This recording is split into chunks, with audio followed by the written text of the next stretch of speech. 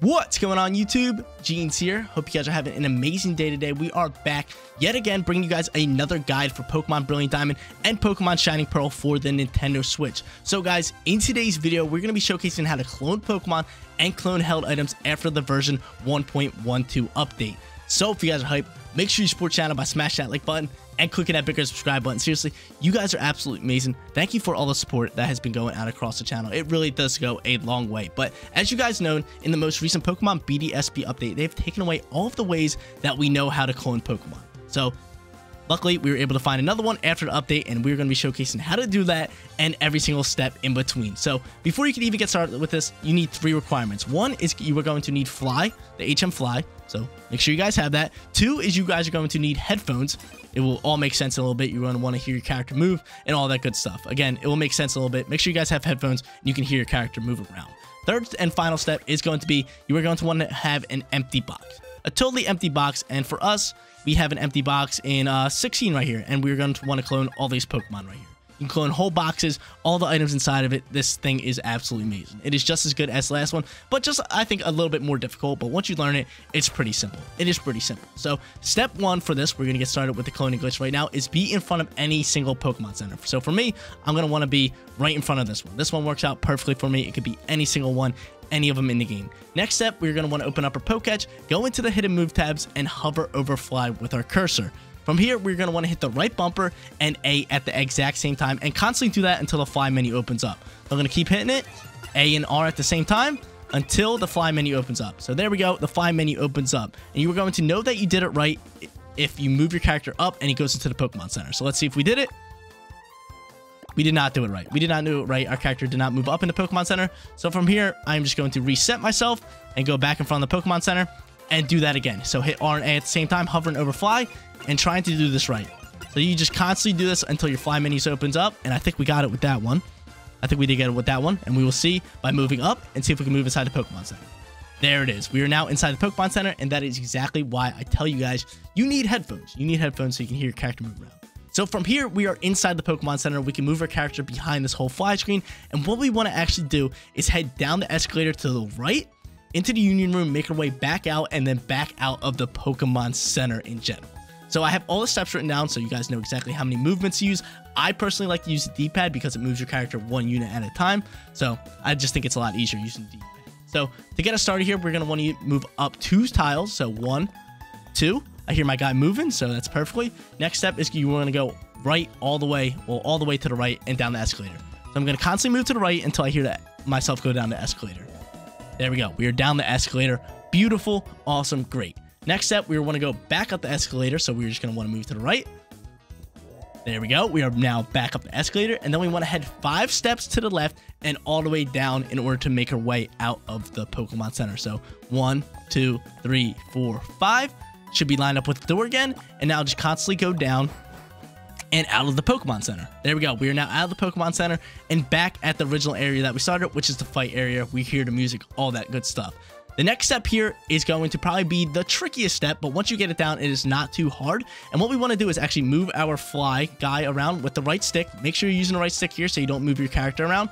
And you're going to want to fly to any city. For this instance, I'm going to be flying to Hearthome City. I don't know why, I just want to fly to Hearthome City. It's all good. It's just a main city in here. So I want to fly to it, but before I hit the fly button, I want to hit X right after I hit A. So I'm going to hit A, and then I'm going to hit X to open up the menu and be able to fly at the same time. For this, this is a little trick that I like to use. When you hit the A button, wait for the text of the city that you are flying to to pop up. So it's going to say, would you like to fly to? And then it's going to name the city that you were flying to. So once it says, would you like to fly to? And for this instance, we're flying to Hearthome City. When it says, would you like to fly to Hearthome City? As that text is lining up, hit the X button and open up the menu. That is how I found this way to work out the best. So like I said, hit A, wait for your city of the text to pop up, and then hit X. So we're going to give this one a try, and you guys are going to know that you did it right if your menu pops up and you still have the yes and no menu to fly to that area. So, like I said, A, then X. Let's give this one a try. And little heads up here, if you guys do this one wrong, your game is going to freeze out here, and you're going to have to close out your software. So maybe not have said this in the beginning. Make sure you guys have saved. Make sure you guys have saved. But I'm going to hit A, I'm going to hit X, and hopefully do this right, and my game won't freeze out. We're going to be able to fly to the city with the menu glitch open. So A, wait for my text pop up, Hearthome City, beautiful. We got it. We did it perfectly. I think you could slow down your your text in the menu to make this thing easier. But as you guys can see, we have the menu open and right below the mystery gift tab, you can see yes or no. From here, we just want to hit A fly to our city beautiful and pretty much it's smooth sailing from here. That was the trickiest part. Once you get that done you're pretty much kind of done. Everything else is pretty simple.